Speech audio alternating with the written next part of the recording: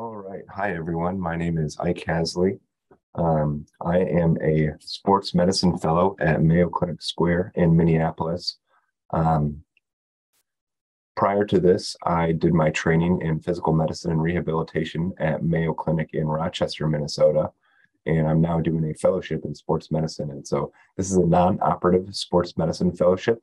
And so we take care of a lot of athletes, uh, including uh, many of the pro uh, teams in the Minneapolis area, uh, also some college athletes, uh, but also the weekend warriors.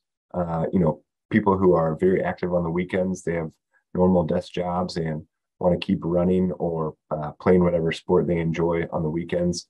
Um, and also the aging athlete, people who uh, were previously high level athletes um, or played high school or college sports and want to continue being active um, because as we know and as we're going to see in this lecture, uh, that carries with it a lot of benefits um, that are good for your overall musculoskeletal um, and physical um, and also your mental health as well.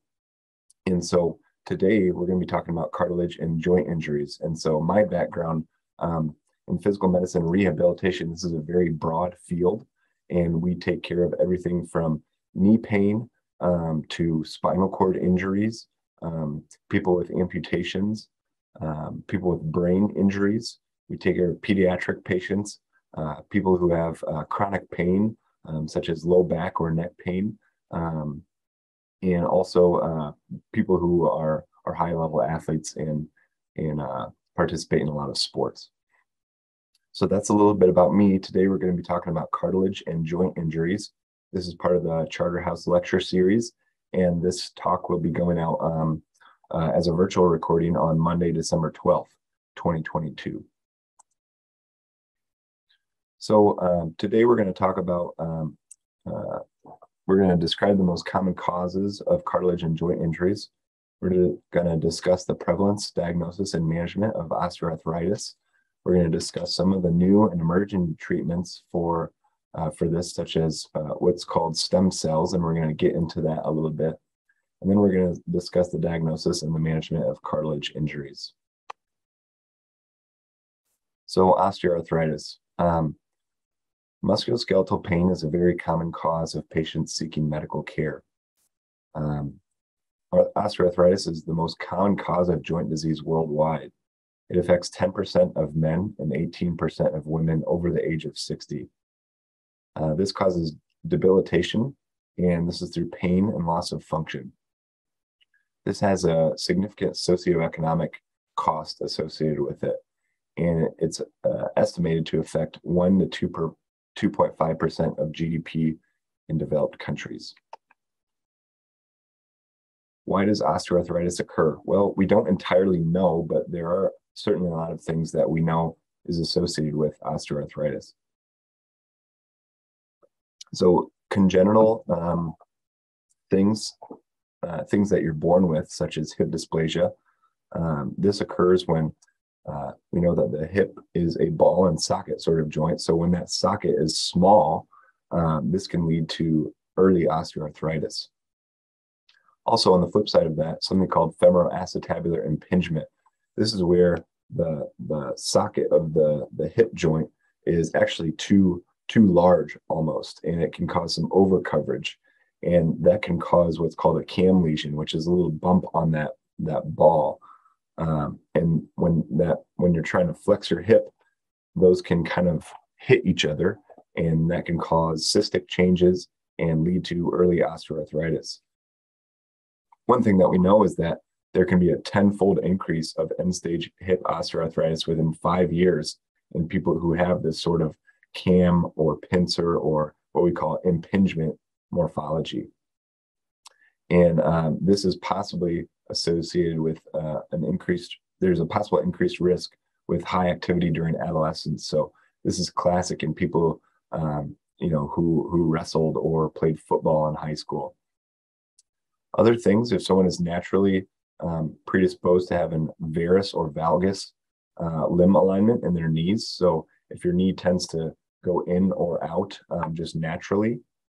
This can predispose you to osteoarthritis.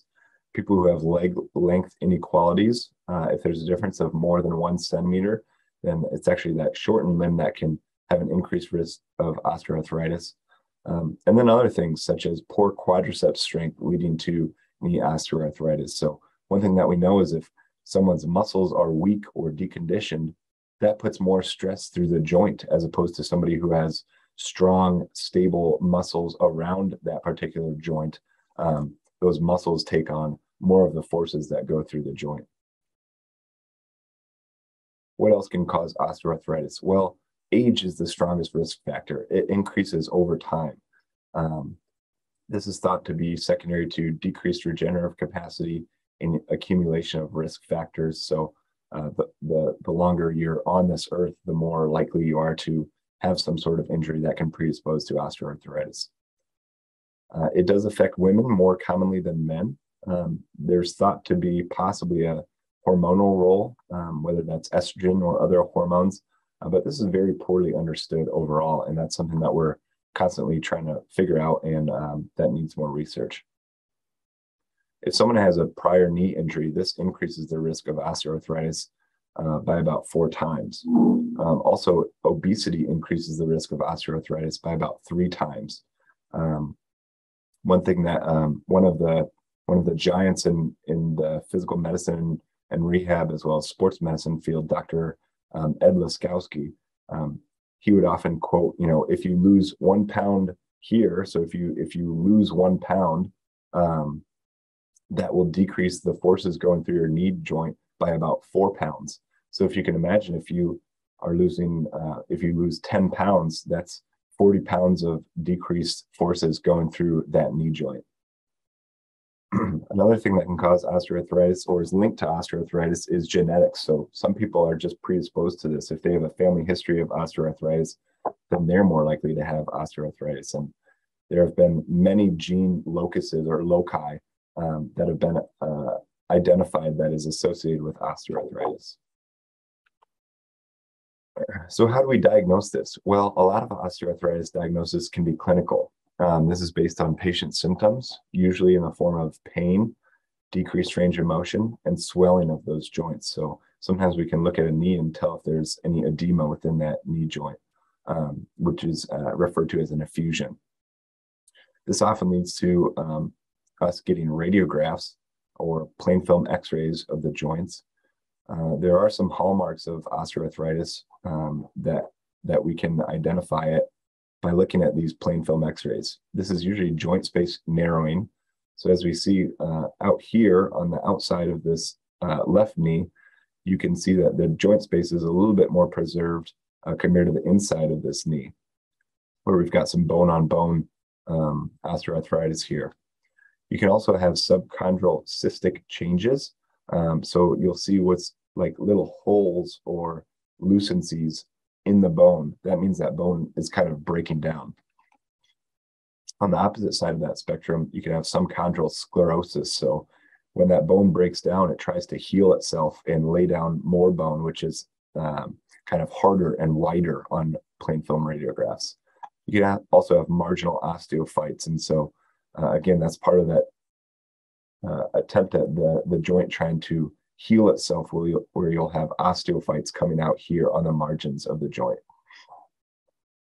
Uh, the difficulty with this lies in the clinical timing. So uh, we know that treatment can be more effective in earlier or subclinical stages, but often when we see someone, the damage is the cat's out of the bag, so to speak. The damage has already been done uh, because they're already in pain and so um, there's a lot of research going into how can we identify this earlier.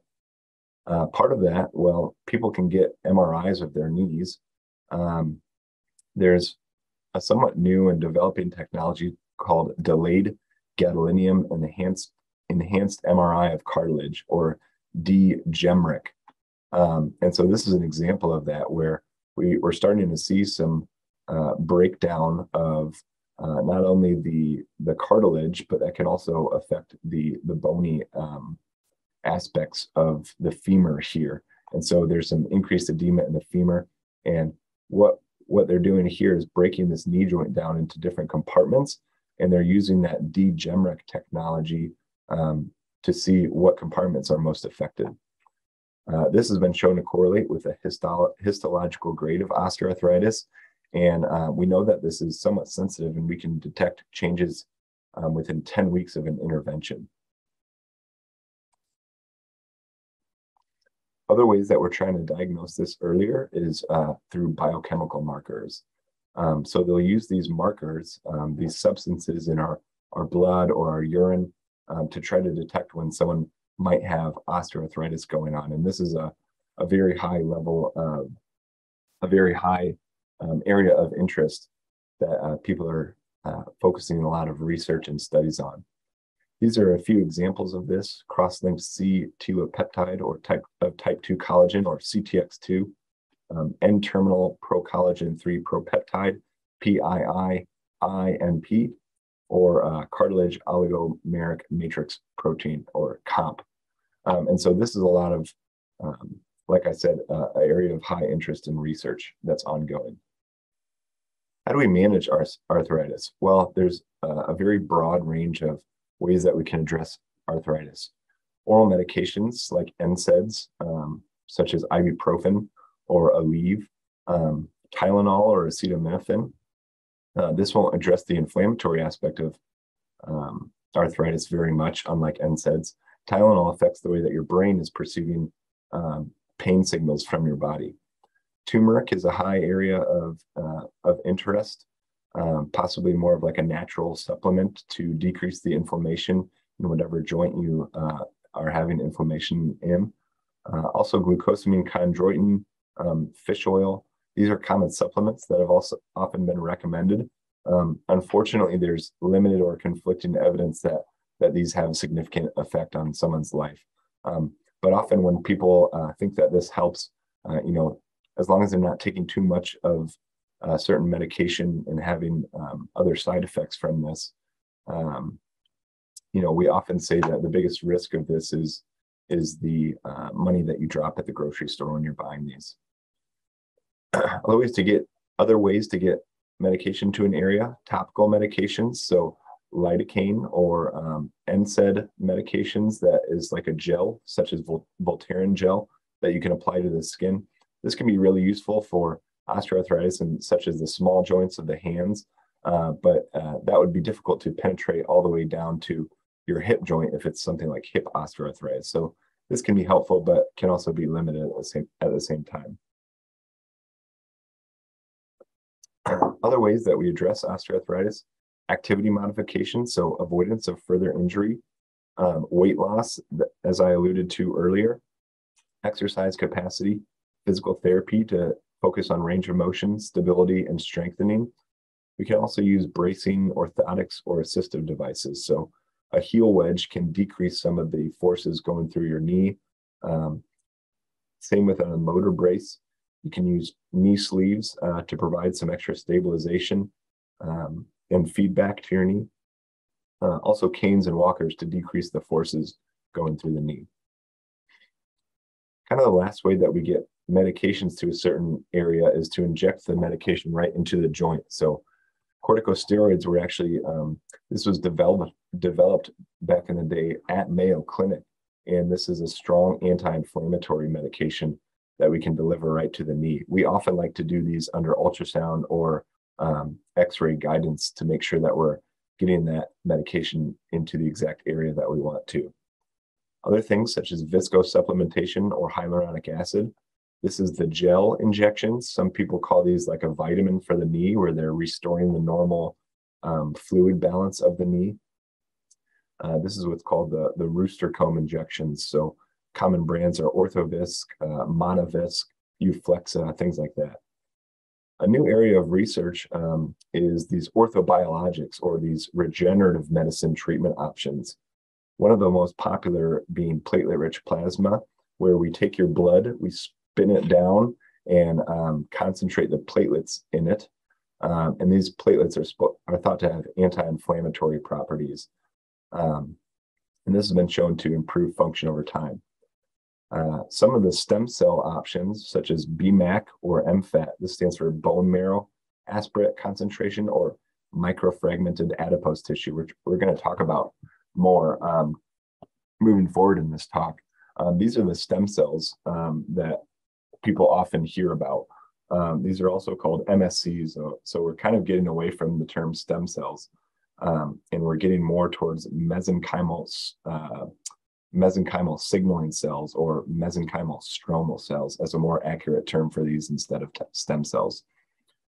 Future directions, uh, they're con we're constantly trying to figure out new ways or um, new medications that we can inject to try to delay or stop the progression of osteoarthritis. Alpha 2 macroglobulin is somewhat like platelet rich plasma, and that's um, a new and developing medication that's being studied uh, here at Mayo Clinic as we as we speak. Lastly, um, surgical management is often indicated after failed medical management. This can be in the form of arthroscopic debridement or osteotomy, uh, or ultimately a total joint arthroplasty or total joint replacement. This is kind of the ultimate cure for osteoarthritis and uh, is one of the most successful surgeries that we have, especially in the hip, um, in the knee. And we're also constantly trying to improve uh, these surgeries and outcomes in other joints uh, throughout the body as well. So talking a little bit about MFAT, this is a new and developing area as I mentioned, this is short for microfragmented adipose tissue. Um, it's autologous, so it comes from the patient's own body.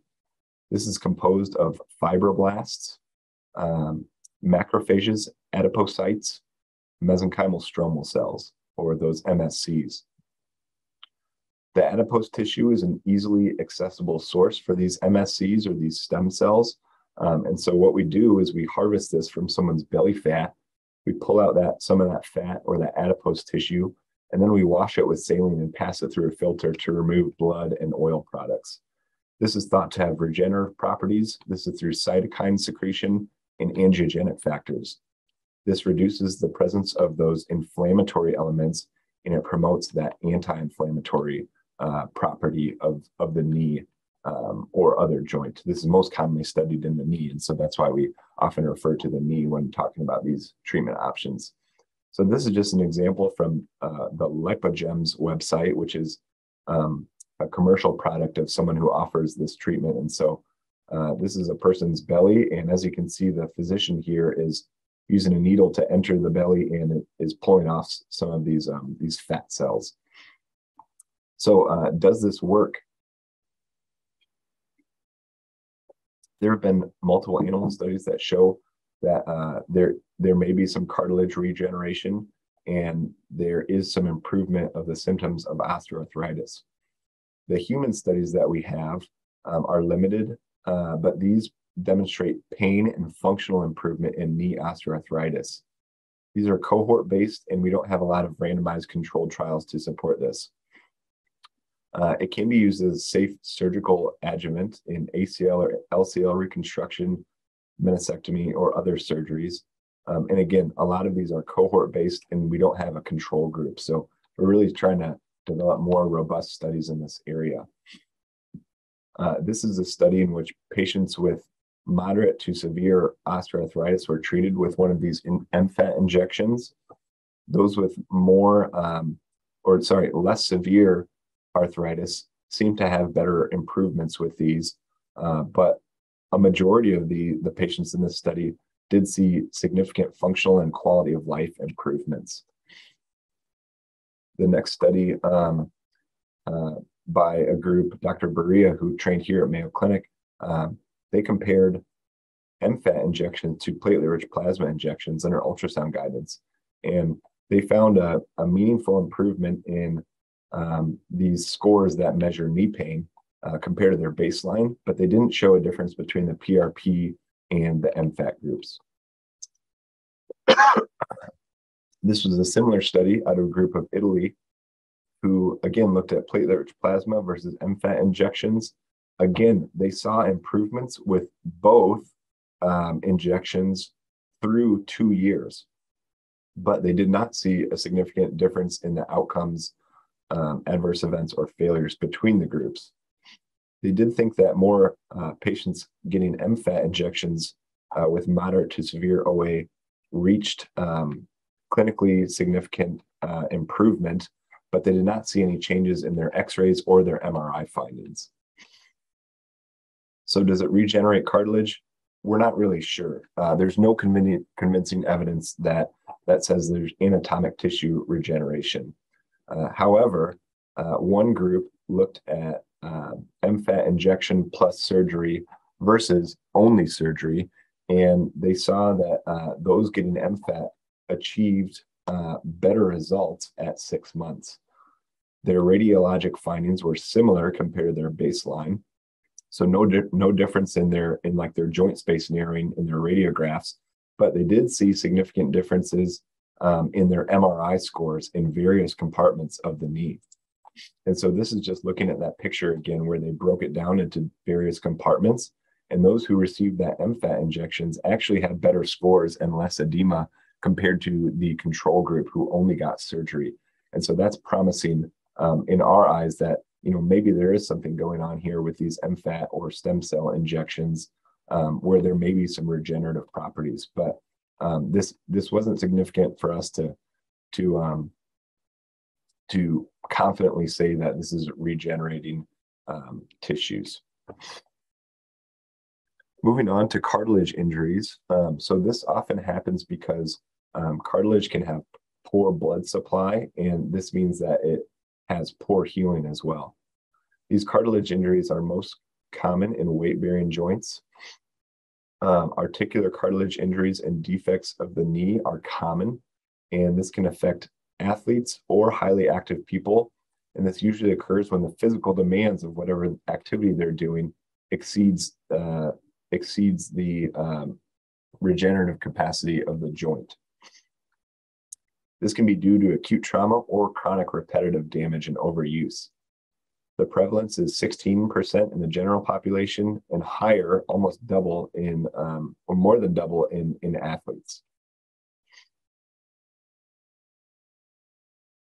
In terms of diagnosis of cartilage injuries, um, this can be seen on plain film x-rays, but these can also be normal. Um, the MRI uh, scans that we can get are often more sensitive and specific, but really these can be missed with MRI as well. And so therefore arthroscopy is the gold standard. Um, that's when a surgeon goes into the knee and uses a camera to actually look around the knee and look at the different areas of the knee and determine, uh, you know, is there a cartilage lesion within any of the compartments of the knee? And so this is an example of that. Um, where we are classifying the cartilage wear of the knee. So this is called the Outerbridge criteria, and there's four different grades. So uh, really five different, different grades. So grade zero would be normal cartilage. Uh, grade one is when there's cartilage with some softening and swelling, and so they'll they'll probe the cartilage to determine if there's softening of this. Grade two is when there might be a partial thickness uh, defect. There might be some fissuring um, but this does not reach through the bone. Grade three, um, there's fissuring down to the level of the bone, so they might be able to see some of the underlying bone through the cartilage in here. Um, and this would be a level with an area of a diameter of more than 1.5 centimeters. Lastly, uh, if there's frank areas of exposed subchondral bone, this would be an Outerbridge grade four criteria in terms of treatment options for cartilage injuries, um, there can be a conservative approach that's similar to the treatment of osteoarthritis. And this would include activity modifications, um, uh, NSAIDs such as ibuprofen or leave um, to decrease the inflammation in the joint, uh, as well as bracing in order to offload some of the stresses going through that joint. If this doesn't work, um, surgical treatment is often indicated. And again, this is an area that's being highly researched. Um, so a surgeon may go in and debride some of the loose tissues. Um, they can do a microfracture procedure, uh, an OATS procedure, uh, which stands for osteochondral autograft transfer system, um, an ACI procedure, which stands for autologous chondrocyte implantation, um, or an allograft procedure, where um, where they're they're kind of reinforcing that cartilage where um, with with another product. Um, so in conclusion, Osteoarthritis is a very common cause of joint injury. Uh, it causes pain and disability. It has a wide range of treatment options. Uh, new treatment options such as MFAT or stem cells uh, can help with symptoms, but they have not been shown to regenerate cartilage. These are some of the references uh, used for this presentation. And I know that this is a virtual presentation, uh, but I'm happy to answer any questions that someone may have um, and provide some, some feedback or discussion. Um, and this is my contact information. Uh, this is where we have a location up at Mayo Clinic Square in Minneapolis. And as you can see, we take care of the, the Lynx as well as the Timberwolves and the Twins here. And I just want to thank everybody uh, for their time.